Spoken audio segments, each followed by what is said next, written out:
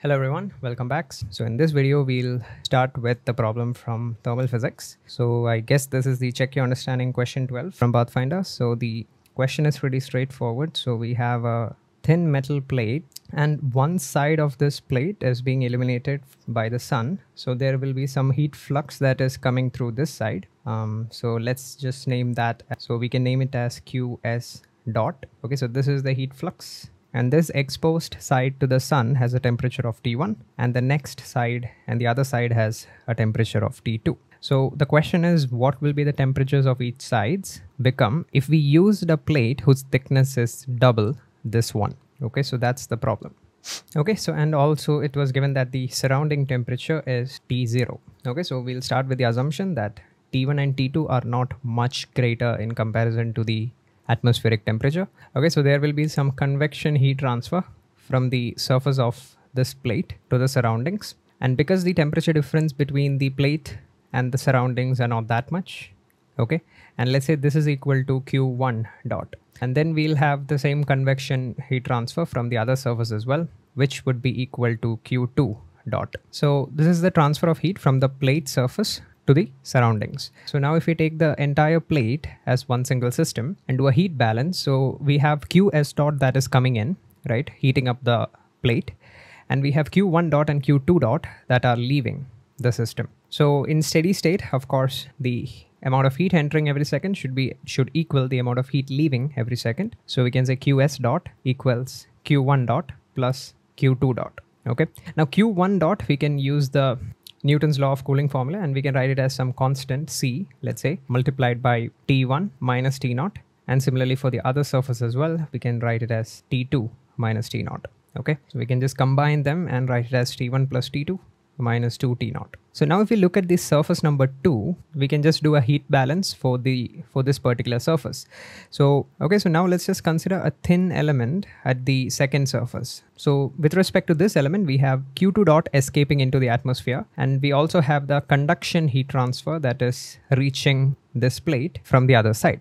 Okay, Q dot conduction. So this we can figure out using the formula Ka delta T over D okay so they so this effectively is just another constant let's say c dash times t1 minus t2 so basically any element you choose at a distance of x if we zoom in and if we draw the zoomed picture of that element, uh, we'll have the conduction heat transfer coming from the left and we'll also have q dot conduction leaving towards the right. And this is because um, the heat entering has to be equal to the heat leaving. Otherwise, the temperature at this particular location will change okay and in steady state we know that the temperature does not vary with time so that's why uh, any section you choose, the heat transfer rate due to conduction at that specific location will be the same. So yeah, now we can just equate this to Q2 dot. So this is because we are balancing the heat uh, at this particular surface over here. Okay, so this is the second equation. So okay, so now what we're going to do is double the thickness.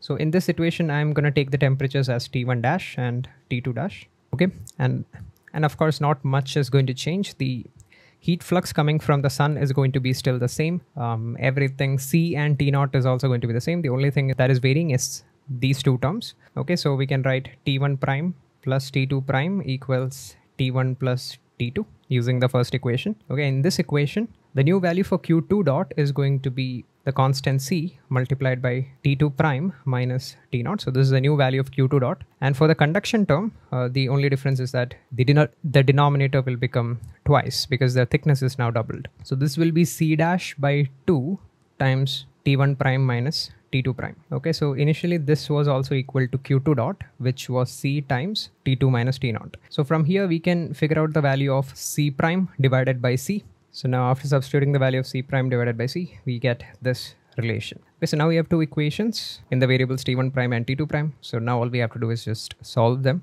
Okay, so and after substituting and, and a bit of calculations, you get these two answers for t1 prime and t2 prime. So yeah, that's basically it for this question.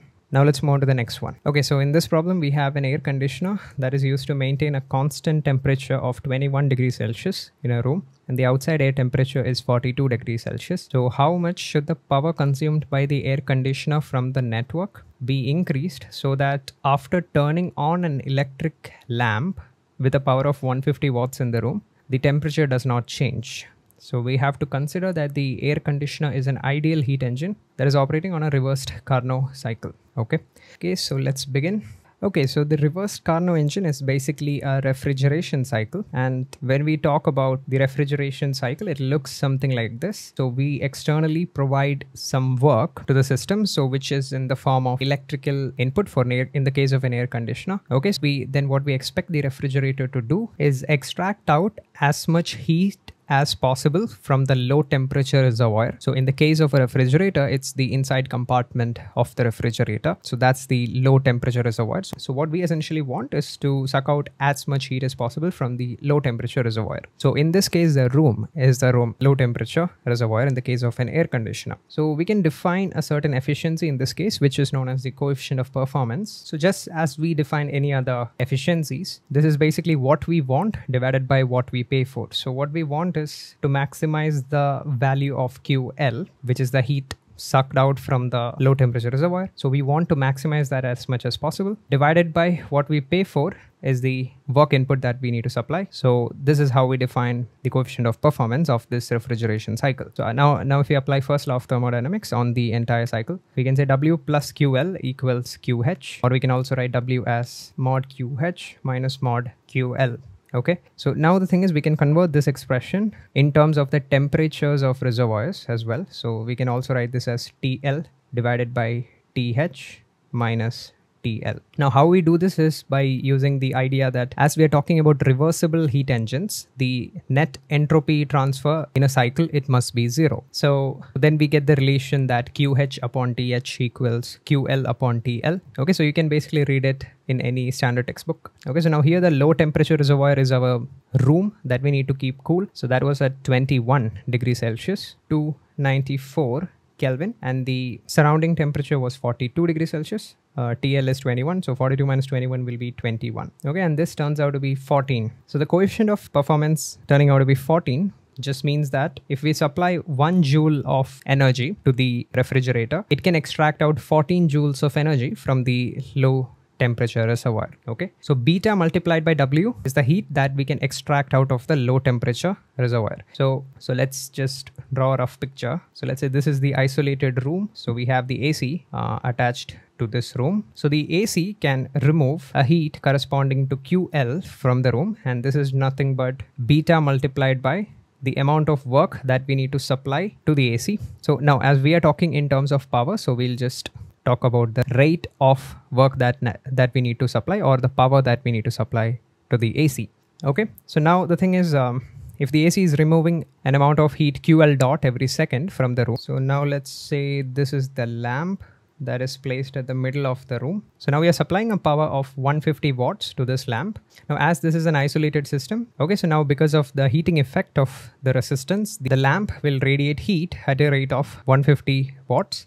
So we'll have to remove the heat at a rate of 150 watts if we want to maintain the room temperature constant okay so that's the main idea so okay so the power supplied to the air conditioner would be just 150 divided by beta which is 14 okay so this would be approximately 10.71 watts. Okay so that's the answer to this problem. So yeah that was it for this video guys. If you have any doubts you can ask below. And that's it. Thanks for watching